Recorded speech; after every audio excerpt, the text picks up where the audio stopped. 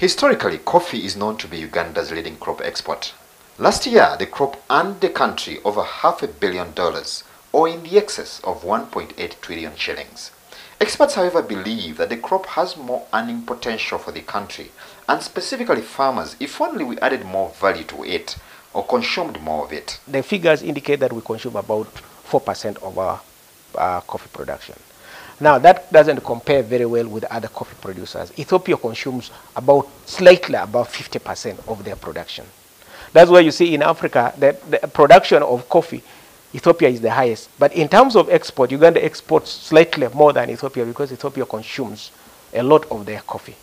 If we were in that category, or if we're able to bring our consumption even just to 20%, you will see a stability and farm gate prices will slightly be up because I've been to Ethiopia personally and I know that the Ethiopians pay slightly a very good premium price for, for their coffee.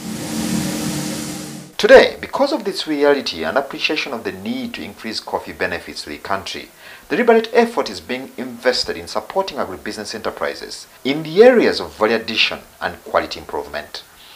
The UCDA approach, for instance, has been among others to support organized groups. The result of an effort from the private sector uh, in conjunction with UCDA to have those groups as much as possible uh, put together uh, to produce high quality coffee uh, through taking them in trainings for post-harvest handling, uh, but also most importantly to appreciate uh, the, the product because most people never knew that coffee was food, they were handling it anyhow. So once we encourage them to consume, then they will take an effort uh, to ensure that they handle it as food as it should be. Out of these efforts and the support of critical partners in the coffee value chain, today Uganda is able to process premium coffee that is ready for consumption right here at home. Uh, we're here at uh, uh, Volcafe Uganda Limited uh, in Namanve, which is uh, just uh, east of uh, Kampala. So what we're doing here is we're adding value.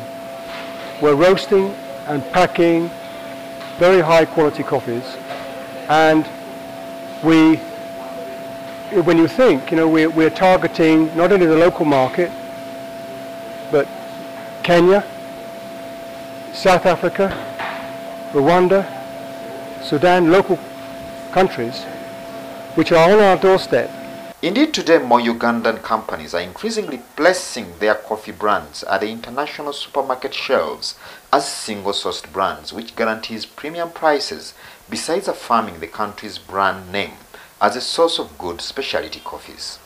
We have now started roasting on the micro roads.